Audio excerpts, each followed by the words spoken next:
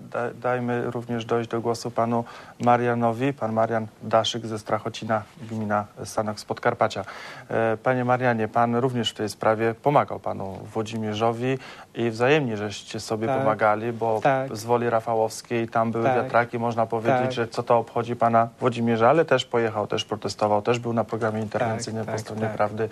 E, Co pan może w tej sprawie jeszcze no, powiedzieć? Ja, pan... e, spróbuję wnieść też trochę nadziei w ten dramat, bo to jest nieprawdopodobny dramat, ale i po pierwsze chciałbym tutaj powiedzieć, że no, nieprawdopodobna siła w, y, tutaj y, w tym chłopie.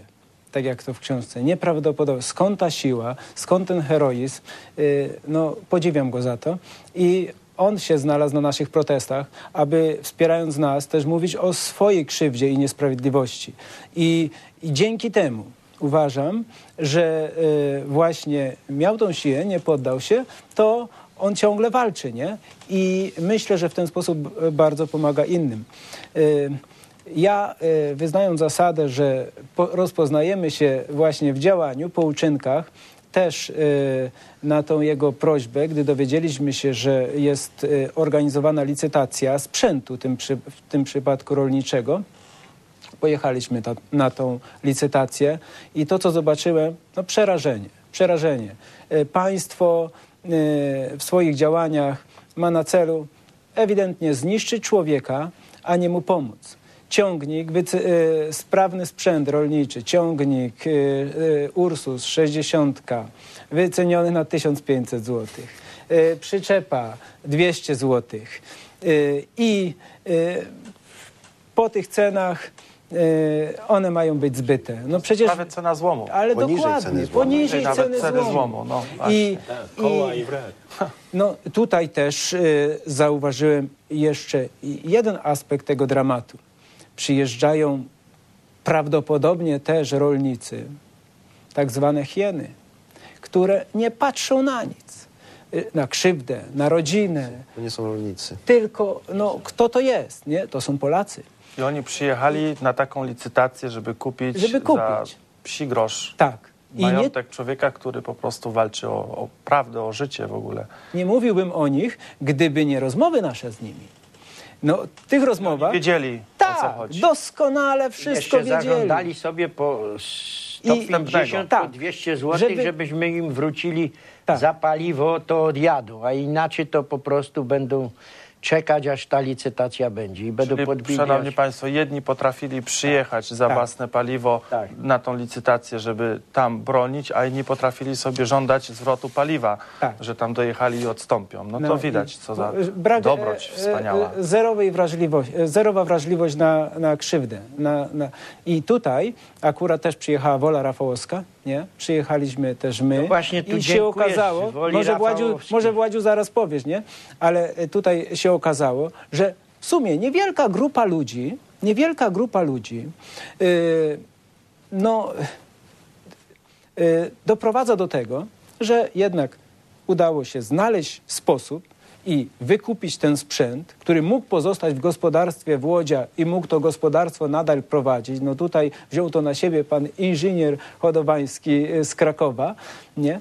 I y, y, również, y, y, a więc gdy to... Gdy, Czyli udało się w małej grupie jednak e, skutecznie pomóc. Wymieńmy może te osoby, które, nie było ponieważ nasz tak- program dobiega do końca, panie Włodzimierzu, e, wymieńmy te osoby, którym należy podziękować. e, No, i po prostu, byli to bo- rolnicy z Woli Rafałowskiej, pan Aleksander Szura, pan Andrzej Drabicki, pan Zbyszek Kowalec, pan Edek Kowaliło, Leszek Kunysz, z, z Krosna pani Maria Fijałkowska, ze Strachącina pan Zbyszek Wójtowicz, pan Marian obecny tutaj Daszek, pan inżynier Hodowajski z Krakowa, pan Ryszard Domajski, pani poseł Marianowska z mężem obe, e, e, brała udział w tej licytacji, bardzo dużo pomogła.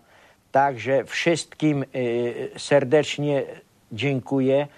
I jeszcze chcę wymienić Stowarzyszenie Przeciw Bezprawiu z Bielska Białej, które przyjechało 12 września, gdy byłem licytowany w sądzie rejonowym w Bochni.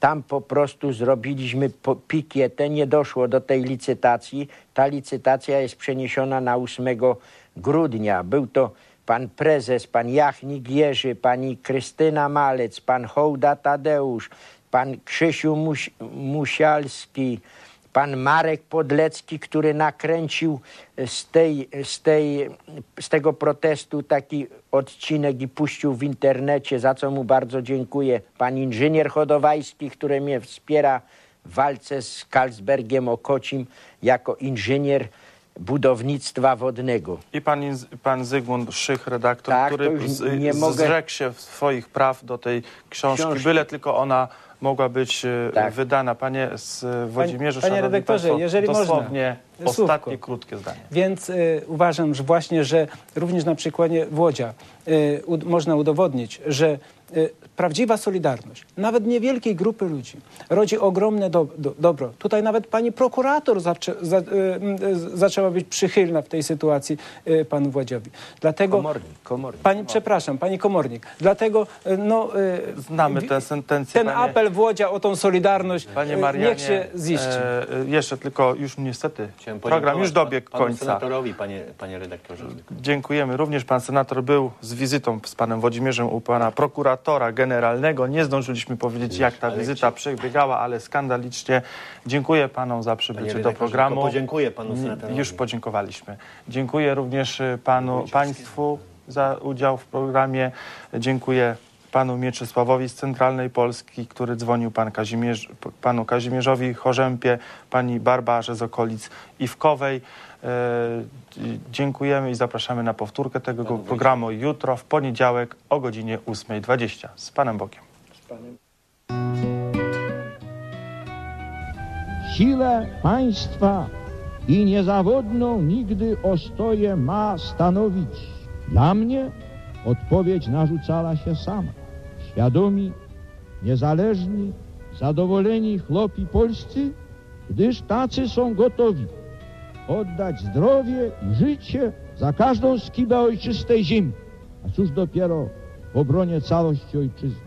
Trzeba jednak Trzeba jednak nie tylko starać się na chłopach tych oprzeć przyszłość, ale ich wierność i przywiązanie do państwa za wszelką cenę zdobyć, a gdy się zdobędzie, na zawsze utrzymać i utrwalić.